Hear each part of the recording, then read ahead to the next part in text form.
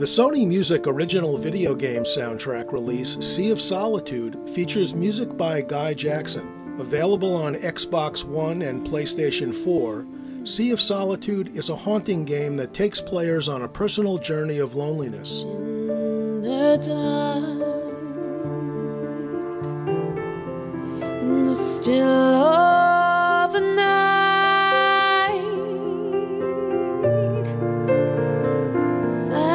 saw your face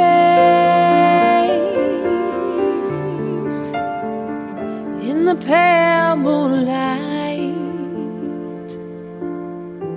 Composer Guy Jackson is here with us to discuss the game and the soundtrack. Hi, Guy. Thanks for joining us on the podcast. Hi, Max. Pleasure to be here. Guy, your compositions often blend acoustic and electronic sounds together, the mood and tone for film, TV, and video games. How is writing for video games different from writing for a film or for a TV series? The difference really being is there is no sort of linear timeline that you've got to adhere to. Know when I'm working with the games developer Jo-Mei on the Sea of Solitude, the technical side of things means that they don't particularly want to give me, here's a three minute spot you've got to fill with music.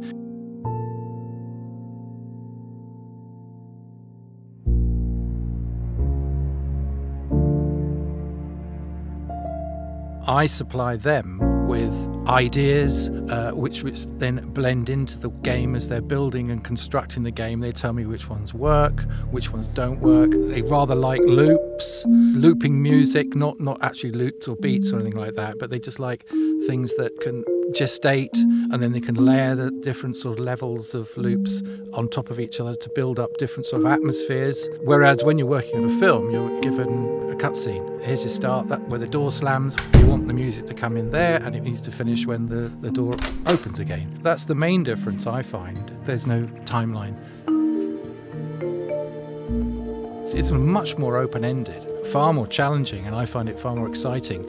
And you were saying about my hybrid approach where I blend synthetic sounds using synthesizers as well as against the, the sort of classical real instruments, crucial to the way I work.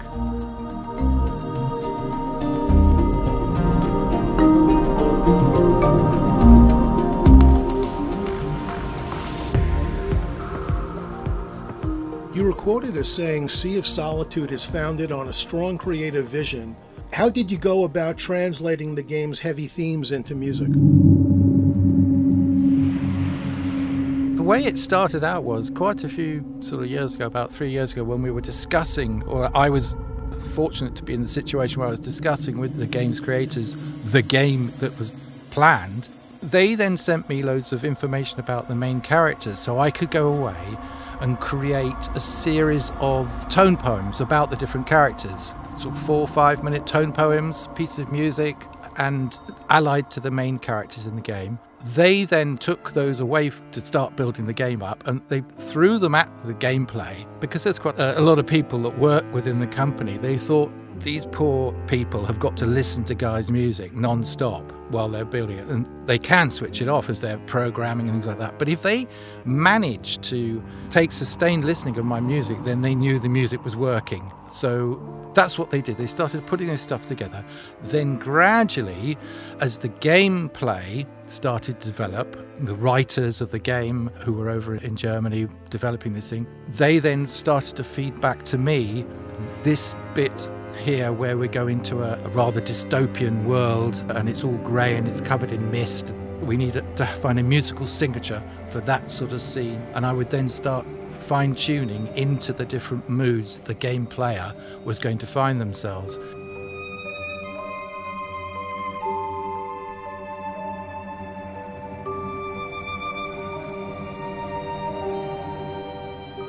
And this was still as the game was being developed. It wasn't right at the end, the last moment. Hey, Mr. Composer, we've got two weeks to get this stuff, all the music put to it. Crack on. So it was totally the opposite. I was supplying music all the way along in reaction to what the game developer wanted. They were helping to instruct me as to what sort of moods Kay, the girl in the game, what moods she finds herself in.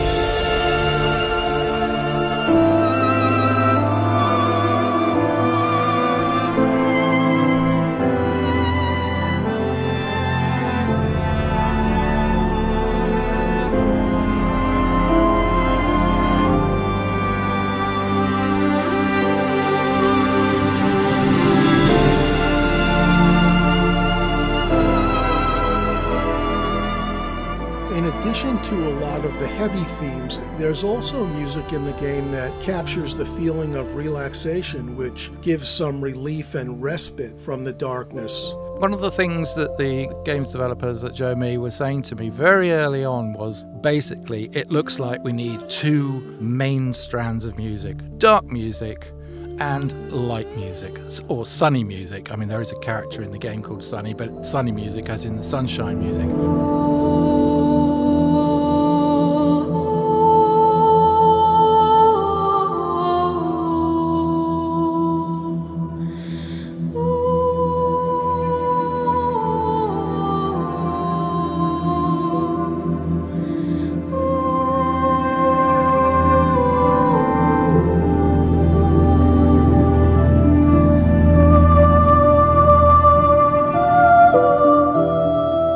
That's what my main objective was to go and write some dark music, some sunny music. We all agreed it was going to be so much easier to write dark, moody music. Get the right synthesizer sound, get the right tone on a cello, legato stuff, and really let it roll and it would proved right. The dark music I did first, a whole series of tones that I would then supply to them, and then it was time to write the sunny music, and that proved a lot tougher. And it basically boiled down to maybe stripping back a lot of the instrumentation, leaving a solo cellist to perform. I wouldn't necessarily play the major, the minors, I'd probably keep it quite open, get a nice resonance going, hold that down, and then let the cellist or the violin player or bassoonists perform across the top of it to create this like lovely atmosphere and say that it's very slow and I need lots of gaps between the phrases you know do not feel that you have to keep playing non-stop. And that's how we approach the sunnier softer side of the sound when Kay has found herself in more of a, a happier state of mind in the gameplay. You're structuring the cues creating loops for each player I did do this very early tone poem thing, which was so useful. I don't know many other game players that do that, but to give them the chance to do it, to give them the time to do it, but to be able to say, okay, here's the brother, here's the sister, here's the father, here's the mother, I'm going to do a tone poem for each of them. In doing that so early on, I was able to then look at those pieces and then harvest elements out of those to go and decorate the rest of the gameplay where that character is involved.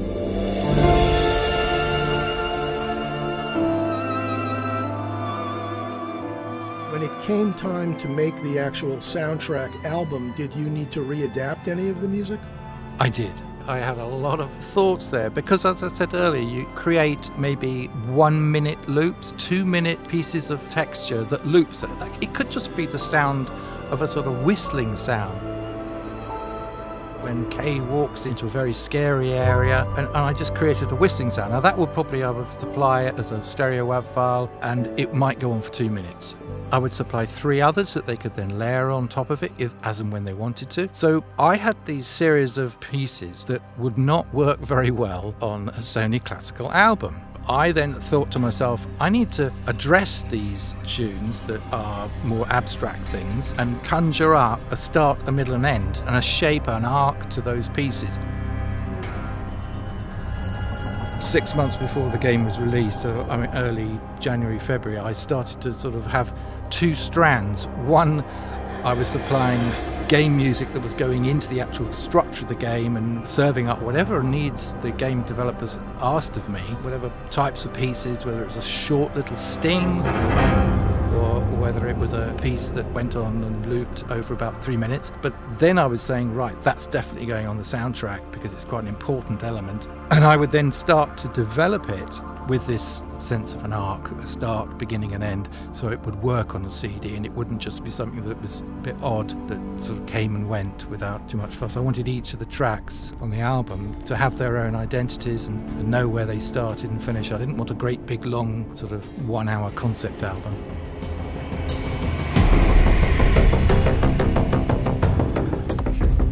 Now, the music is ambient, very lush, slow moving, not particularly driven or beat driven. Is that done intentionally so that players don't get distracted by active music?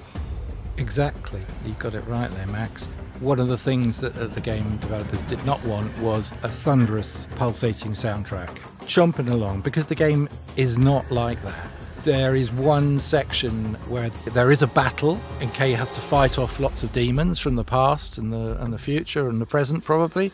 And, and that was the one area that I was allowed to tuck in and find out where I kept my beatbox.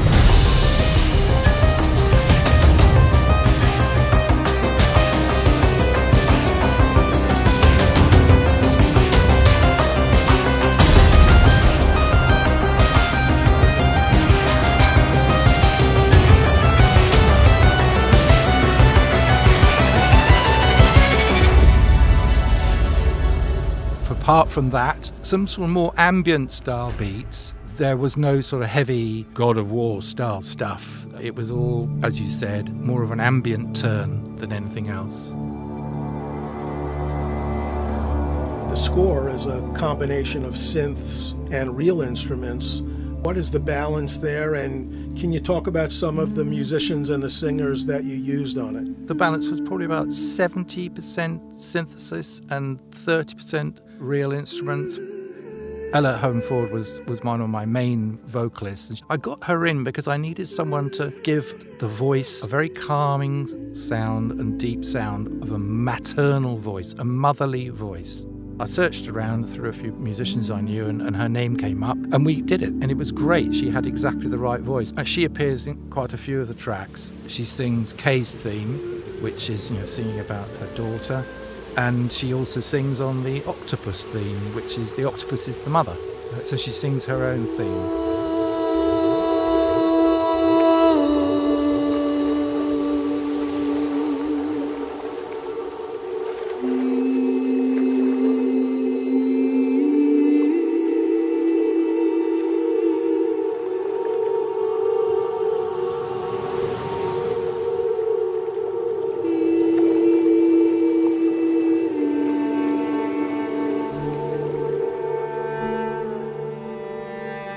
The cello is another major instrument I was using. And that's a gentleman called Tom Pickles who plays the cello on the track My Floating Sanctuary, which was very successful. And that's one of those pieces where I keep it absolutely minimal and let the cellist have the stage, so to speak.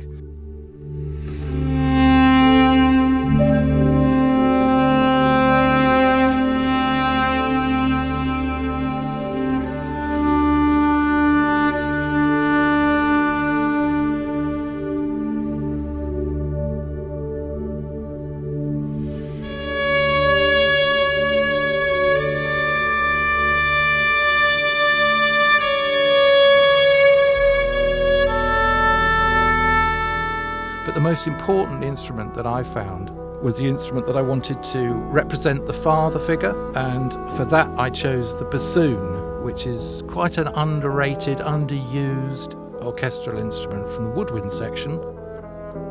That was one of those instruments that I just managed to find a really good player from the Royal College of Music in London. I think she teaches there actually now. Alex Callanan on the bassoon. It was fantastic hearing that instrument because usually the only time you come across a bassoon is in a large orchestra. There's very few pieces that are written for bassoon. So it was great fun to be in the room when she was recording it and just wonder how I'm going to mic this thing up. Obviously, you take instructions, you look around and see what other people have done, but then you've basically got to listen to the instrument that's in front of you and say, okay, that's the best sound, that's the sound I think I want, and get on with the process of recording it.